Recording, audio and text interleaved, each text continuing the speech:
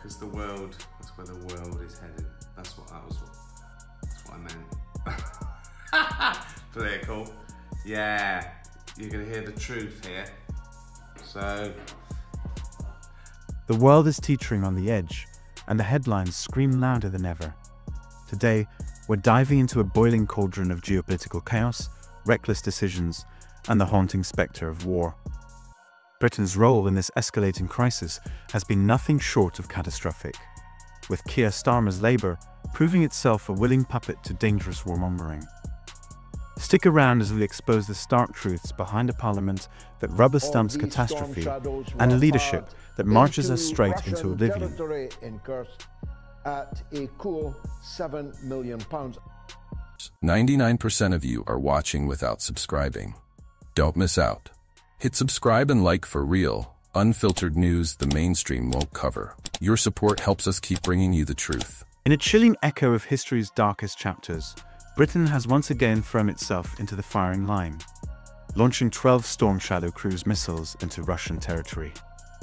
These actions, carried out without parliamentary consultation or even a whisper of opposition from MPs, underline the sheer arrogance and negligence of those steering this country. Let's not sugarcoat this. Britain's parliament has been reduced to a laughingstock, a powerless entity that merely rubber stamps decisions dictated by Washington. And who's at the helm? Keir Starmer and his Labour allies, not standing against these reckless actions, but actively Russian enabling them.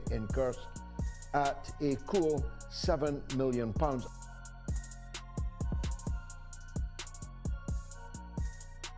Let's break this down. These missiles, worth a cool £7 million, are being fired while millions of British pensioners brace for a winter of bitter cold, stripped of their cold weather allowance by a government more focused on foreign adventures than its own citizens. It's minus 4 degrees already, and the cost of living crisis bites deeper each day.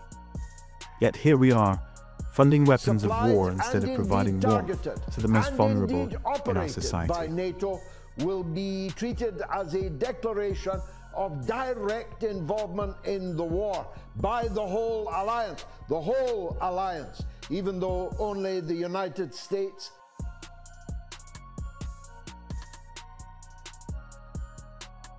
But let's not just dwell on the domestic implications. The international fallout of these actions is staggering. Vladimir Putin has been clear. Any attack involving NATO supplied, operated, or targeted long range missiles will be treated as a declaration of war by the entire alliance. That's not conjecture.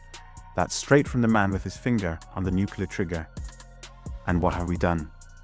Britain has poked the bear, provoking a response that could obliterate a thousand years of history and every living soul on this island within 15 minutes. Hypersonic missiles impossible to intercept could reduce Britain to nuclear ash. Today. And yet, not one MP spoke against this madness. overwhelming Russian response on the Ukrainian capital. It may be that they are counting on their previous special relationship with Russia to protect them from being targeted. My advice to them is to think again and send your diplomats home. The NATO alliance is thus jointly and severally responsible for a declaration of war.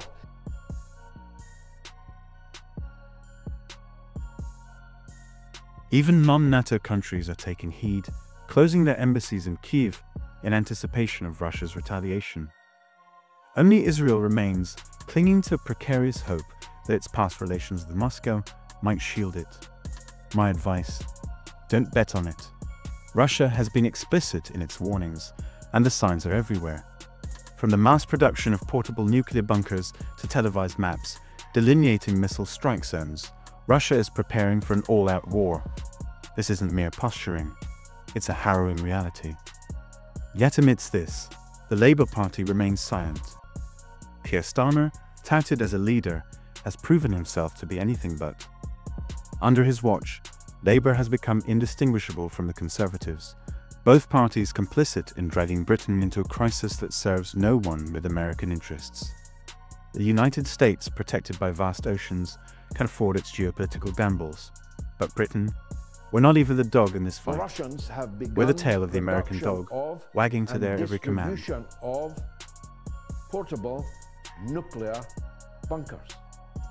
I don't know how effective they'll be when the shooting starts, but it's a sign that the Russians fully expect all-out war, which will soon turn nuclear. Just stop. Just do what the fuck you want.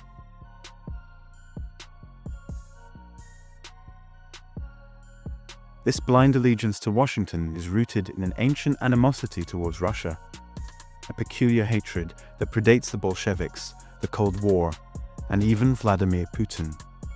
This is the British establishment's historical grudge, now reciprocated by Russia with devastating potential. And here's the bitter truth while the US can weather the storm it provokes, Britain cannot. Free Russian missiles are all it would take to obliterate this nation. Think about that. And who will suffer most? Not the politicians in Westminster or the elites in their fortified homes. The irony is glaring.